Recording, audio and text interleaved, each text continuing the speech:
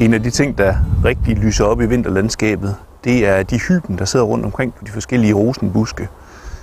Øh, og vi har en masse forskellige roser i Danmark. De kan godt være lidt svære at se forskel på, men jeg har taget lidt forskellige med her.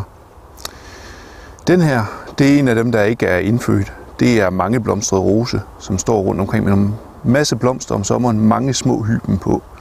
Øh, og det, hvis man finder den ude i naturen, så er det sådan en, der er sluppet ud fra haverne. Den her, det er sådan lidt mere over i det almindelige. Lige præcis den her, det er faktisk min yndlingsrose. Den hedder æblerose, som har den mest fantastiske duft af æbler, når man knuser bladene. Og de her flotte hyben. Der er en, der ligner meget, som hedder hunderose, som har sådan mere aflange hyben. Øh, den hedder hunderose, fordi man har brugt den som medicin mod øh, hundegalskab, mener man. Det kan også være, at man har brugt den som medicin mod hundegalskab, fordi man kaldte den hunderose ting, der hedder noget med hund eller hest. Det er tit noget, der ikke er helt godt, men man er lidt uenig om, øh, om hvilken del, der har givet den navnet, og hvilken del, der har givet den brugen. Sandsynligvis er det dog en, man har brugt mod øh, hundegalskab. Det virker den ikke mod, men øh, hyben virker mod mange andre ting. De er rigtig, rigtig sunde. Man kan lave geléer og snapse og vine og alt muligt på det her røde frugtkød, der er fyldt med A- og C-vitamin og calcium. Man kan også lave snaps, og der er den allerbedste, det er den her, som ikke er rød.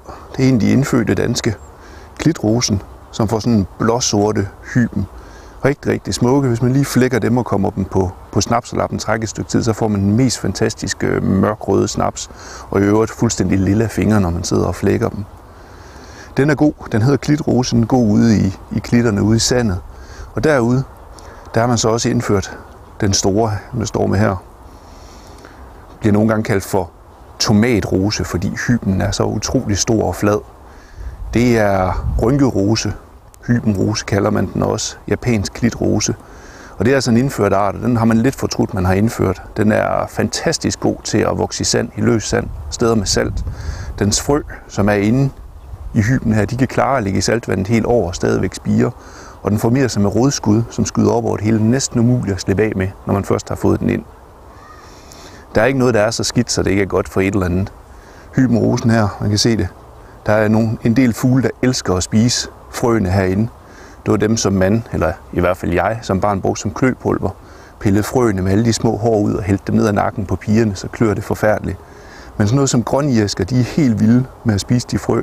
Og det er så dem, der her om vinteren flyver rundt i flokke til steder, hvor der vokser roser med hyben på, åbner dem og piller frøene ud og spiser dem sådan her de, de får nok deres vitaminbehov dækket på den måde, kunne man forestille sig. Mm-hmm.